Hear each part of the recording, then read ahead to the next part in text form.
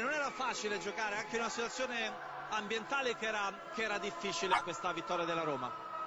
Beh, sono tre punti importanti per, per, per mille motivi, per quelli che ci stanno davanti, per quelli che ci sono arrivati molto vicini sotto e anche per noi, insomma, che siamo una squadra che fino a un paio di partite fa era in netta corsa per la, per la Champions League, che era un obiettivo importante.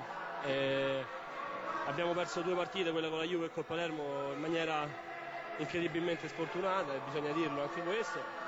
E ora cerchiamo di risalire fino a dove possiamo arrivare. Insomma.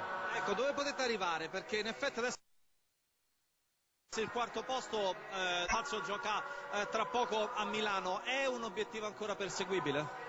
Beh, se perdesse la Lazio e magari non vincesse l'Udinese potrebbe riaprirsi un po' tutto quanto.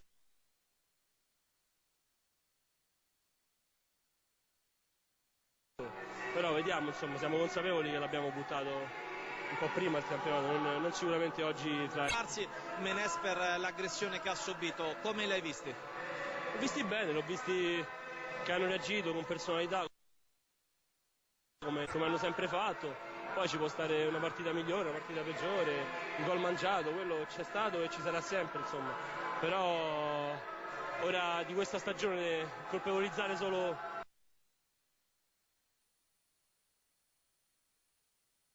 Menez, Vucinic e Doni mi sembra veramente una cosa ridicola. Chiedo un'ultima cosa che merita secondo me di avere nel, un posto nella Roma del futuro?